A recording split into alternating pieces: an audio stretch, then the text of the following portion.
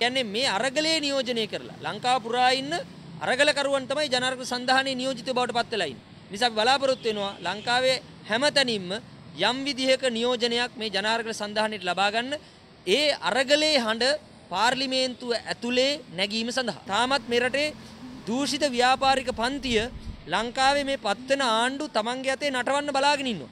වාණිජ මණ්ඩලයකට බලාගෙන ඉන්නවා. ලංකාවේ බදු ගෙවල නැති, ණය ගෙවල නැති ව්‍යාපාරික ජාලයකට ඒකට ඒක කරන්න බලාගෙන ඉන්නවා. එහෙනම් මේක පරාජයට පත් කිරීම සඳහා ජනතාවට තියෙන එකම විකල්පය තමයි මේ වෙද්දිත් මේ වෙද්දිත් විපක්ෂය වෙනස් කිරීම. මේ මහමැතිවරණයේදී විපක්ෂය වෙනස් කරලා සටන නියෝජනය කරපු අරගලේ නියෝජනය කරපු ජනතාවගේ අභිලාෂ නියෝජනය කරපු විපක්ෂ ගොන්නගෙන. හැබැයි අපිට පේන්න තියෙනවා අලුතින් පක්ෂ හදාගෙන පරණ දේශපාලන සංස්කෘතිය නඩත්තු කරන්න.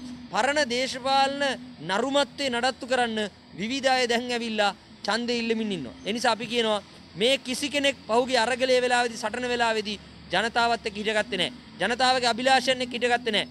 බදු අඩු කරන්න, බඩු මිල අඩු කරන්න, විදුලි මිල අඩු කරන්න, තෙල් මිල අඩු කරන්න, ගෑස් එකේ මිල අඩු කරන්න, සුළු හා මධ්‍ය පරිමාණ ව්‍යාපාරිකයට සහන දෙන්න, අර මහා පරිමාණ ව්‍යාපාරිකයන්ගේ ගෙවල නැති බදු ටික අය කරගන්න කියලා කියපු සරන් පාට අරගලය කරේ මෙරටේ ජනතාව. ඒ ජනතාව වෙනුවෙන් පෙනී හිටපු අපේක්ෂකයින් ඒ ව්‍යාපාර විපක්ෂයට පත් කරන්න වග බලා ගන්න කියන පණිවිඩය අපි ජනතාවට දෙනවා. ඒ වෙනුවෙන් ජනාරගල සන්ධානයේ කුඩේ ලකුණු ඉස්සරහා ඔබේ කතිරේ යොදන්න කියන පණිවිඩය තමයි අපි අද දවසේදී ලබා දෙන්නේ. එල්පිටියේ ඡන්ද ප්‍රතිඵලය දැකලා නාමල් රාජපක්ෂ පොඩ්ඩක් චූන් වෙලා ඉන්නවා අපි දැක්කා. දැන් නාමල් කියනවා එල්පිටියෙන් එයා නැගිටිනවලු.